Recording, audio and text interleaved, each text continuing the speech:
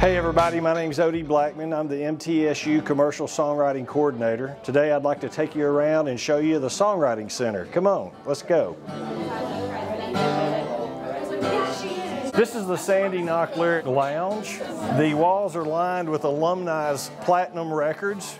We've had former students from Evanescence, former student wrote Butter, from Lady Gaga to Jon Pardi to George Strait. This builds students' confidence when they walk into the room and see people that have come before them. This is a place they can hang out between classes and uh, get to know each other and just relax.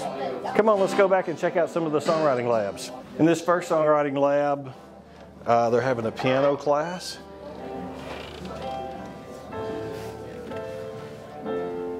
As you can see, the teacher's piano comes up on the screen.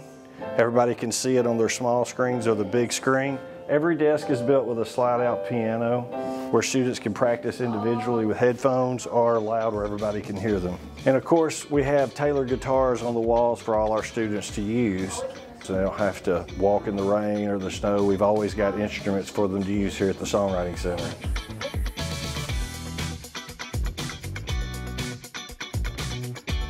So on this wall, behind it is the third and final phase of the Songwriting Center.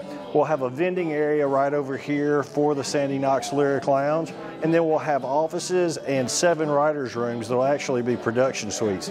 Each room will have a computer, microphones, speakers, keyboards. Students will be able to come in and record as they write songs. They'll be open 24-7. There'll be card swipes and cameras. People can come and go all night and day.